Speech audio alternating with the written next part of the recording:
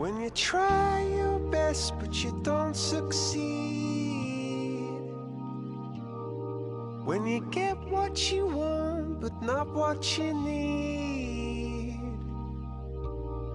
When you feel so tired but you can't sleep. Stuck in reverse.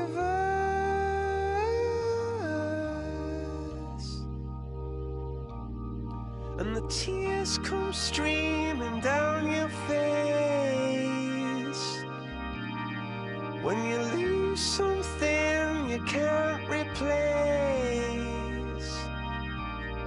When you love someone but it goes to waste. Could it be